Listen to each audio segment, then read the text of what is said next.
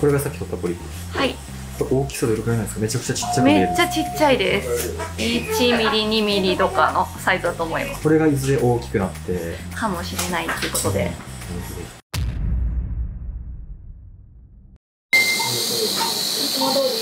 いやじゃあカメラ入りますよ。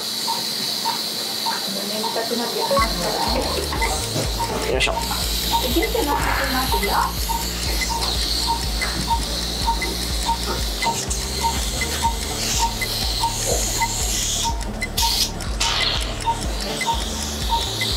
は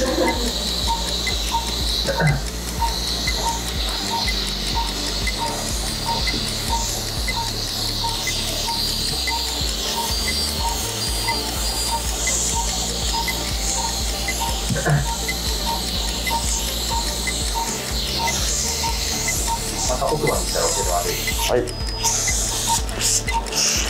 大体半分ぐらいは入った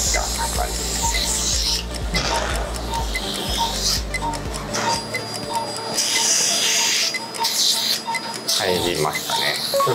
はい。一瞬です今一応測ってましたこれ一番奥の大腸のもう奥の盲腸っていうところですね。はい。ここからまた向きながら見てい。くっていうのがそうですそうですでこの左のモコモコってしてるのが小腸と大腸の境目ですね。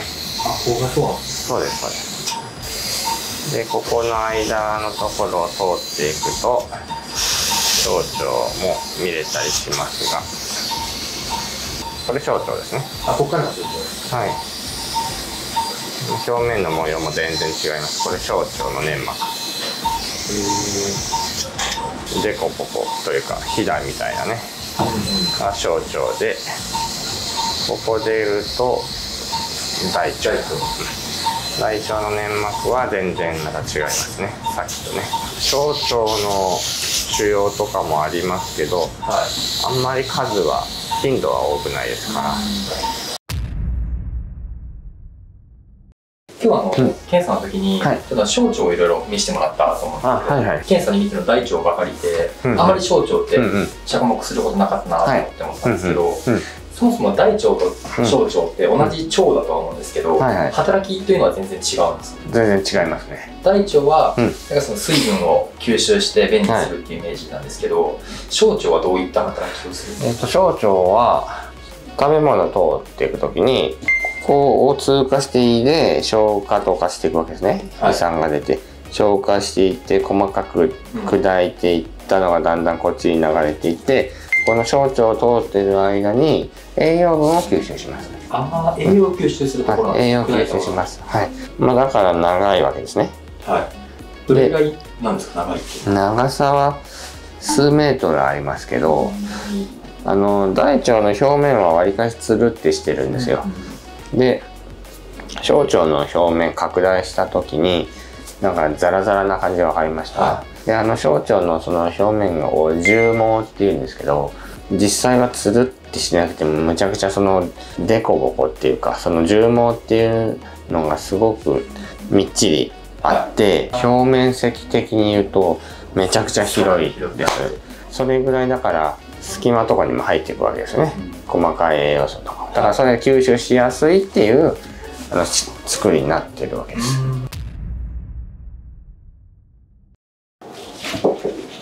はいこんにちは。お疲れ様でした。目覚めてます。あ大丈夫です。はい。でこれ今日の写真でこれ大腸のカメラの写真でちょっと戻ってきたところ。これがポリープでそんなに大きくはないんですけど拡大してみるとまあ模様を見てるんですけどまあだんだん大きくなっていくタイプのポリープなんでもうこの段階で切除しましたって感じですねここにポリープがありました本当にそんなに大きくはないですけどね。いずれ大きくなっていくタイプのポリープなんで。これも一応取った方がいいもの？そうですね。まあ今すぐ取る必要はないけどいずれ取りますから。はい。まあ今検査している以上、まあ、取ってあります。は早め早めに検査するといずれ怖いものでもこの段階で取れる。まあそうですね早めに見つかるってことですか。小腸の内視鏡検査ってものはありますよ小腸その長いカメラ大腸検査みたいな管があって、まあ胃から入れて小腸の奥まで入れたりあと大腸から入れて小腸の奥まで入れたりします。小腸はどっちからも一番真ん中なんで遠いとこにあるんでね、まあ、両方やって全部見たりするって感じです。はい開いてください。はい。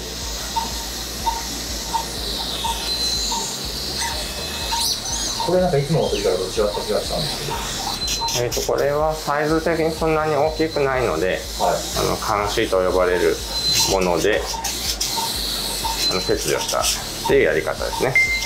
いつもスネアって言ってワイヤーみたいなのでそうですね。かけて取る。はある程度サイズが大きくなってきたらそちらでやりますし逆に小さいとそのワイヤーだとかけづらかったりして今のやり方の方がやりやすい場合があって使い分けてる感じですね大丈夫ですかね。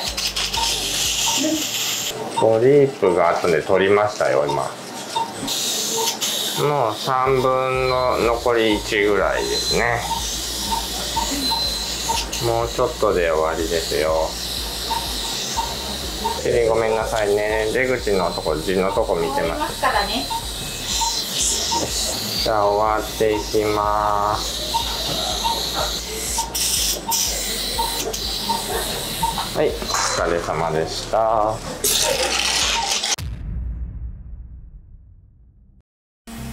これがさっき取ったポリ。はい。これ大きさどれくらいなんですか？めちゃくちゃちっちゃく見える。めっちゃちっちゃいです。1ミリ2ミリとかのサイズだと思います。これがいずれ大きくなって。かもしれないということで。ここにあったんですけどね。えっ、と取ったポリープは回収してます、であと手前の方を見ていってもこちらは問題なしでしたね。新しい小さめのポリープが1個できてたっていう感じです。で一応細胞の検査をして悪性のものがないかっていうのを一応調べます。おそらくは大丈夫ですけれども。それが2週間ぐらいで結果出るので、まあ、今度薬なくなるぐらいでいいですけどね、という感じです、何かご質問ないですかねじゃあまた1年後って感じ。にうんそうです検査は1年後がいいかなと思います。なりました。はい。はいどうもお疲れ様でした。小腸にそういう大きい疾患とかっていうのがあるんですか？小腸も疾患はあってあのやっぱり小腸にも腫瘍ができますから小腸腫瘍とか小腸がんとかね。うんただ頻度として胃がん大腸がんよりはまあかなり少ないんでどちらかというと稀な腫瘍ではありますね。それも大腸と同じポリープみたいなものができる？あそうですね。ポリープみたいなのが、まあ、できてまあ大きくなって、まあ、がんがんになるみたいな感じですね。小腸のがんとかあった場合って、はい。症状とかは出るんですか？症状は、うん、まあ小さいうちは出ませんけど大きくなってくると、まあ、一番出やすいのは、まあ、例えば貧血ですね腫瘍から血が出るんで、はじわじわ出るんで知らないうちに貧血になったりとか。はい。あとは、まあ、しこりができるんでやっぱお腹が張ったりとか痛みが出たりとかですね、まあ、よっぽど大きくなってきてしまうとやっぱ体重が減ったりとかそういった症状です。もうかなり危ない症状ですけどねそれは。なわりかし大腸がんと症状があるんですまあそうですね似てますね。同じあの腸にできる病気ですし、はい。まあ似たような症状になりますけどね。で大腸に何も異常がなくてなんか G でもないしみたいなところで、うん。まあ、小腸が危ないかもそうです。あの貧血があって例えば、えっとまあ、血が出てるんだけど大腸も胃も何ともないから小腸から出てるんじゃないかとかうん。そういったのを、まあ、疑うことは当然ありますね。だから結構疑う順番としては最後。そうです。あの、まあ、やっぱり頻度の問題があるんでえっ、と胃がん大腸がんの方が圧倒的に数は多いですから、まあ、まずはそういった検査をやって原因がよくわからないとかだったら例えば内視鏡をやるでもいいんですけど、まあ、お腹の CT 検査とかして、はいまあ、CT とか取るとちっちゃい腫瘍は腸の中のは難しいですけど、まあ、ある程度大きなものだったら移ってきますから、はい。これは小腸に腫瘍があるんじゃないかとかもし疑わしい場合は小腸カメラやったりとかね。そういうこともまあ順番的にはあり得ると思います。かなり見つけにくい。見つけにくい。ですね。はい。検査するとなったら大腸の方から入れるか胃の方から入れる両方ですね。か胃の方から入れて、まあ、胃カメラのちょっと長いような特殊なカメラですけどね、はい。まあ、ここから入れてずーっと入れていって行けるとこまで行くわけですはい。まあ、ここによく CDC 打ったりするわけですね。あ行ったところまで。行ったところはい。で次大腸から入れて行けるところまで行ってその印が見えたところがまで到達すれば全部見れたことになるんで、小腸の内視鏡検査はそうやってやりますね、検査自体もかなり大規模というか。かなり大規模なんで 普通入院してやらないといけないですね、でまあもうちょっと簡便な検査としてカプセル内視鏡っていうのがありますね。はい。カプセル内視鏡っていうのは、まあ、このぐらいのカメラがあってそれを飲み込んでまあずーっと流れていきますね、はい。まあここからずっと出て流れていく間自動的に撮影しているっていうそれじゃあ最後カメラで出てきた時に先生が全部その中のデータを見るっていう。そうです。あの便で出てくるんで、はい。それをまあご自身で回収してもらってあの持ってきてもらってそれは一応まあ解析ソフトみたいなのもあったりするしまあそういう専門でやってる業者さんとかドクターとかがチェックしてっていうのがまあ実情ですね。あでまあそれのいい点はまあ簡単ってことですね。はいだまあ自動で撮影できるんで簡単だということ。でメリットとしてはそれで何も映らなかったもたまたま見えてないこともありえるんで見えてない視覚となってるものがあった場合はまあ見逃しの可能性はあるけれどもまあそういったのは、まあ、おいおい技術の進歩とかでなんとかなるような気はしますけどね、まあ、360度見えるようなカメラとか、あとはまあ、コントロールはできないですからね、まあ、それがコントロールできるようなカメラとかうん。だったらもうすごくいいんじゃないかなとは思うんですけど、じゃあもう小腸は見づらい。見づらい臓器ではありますね。してもし何かあっても発見しししづらい。づらい。難しい臓器。難しい臓器。はい。はい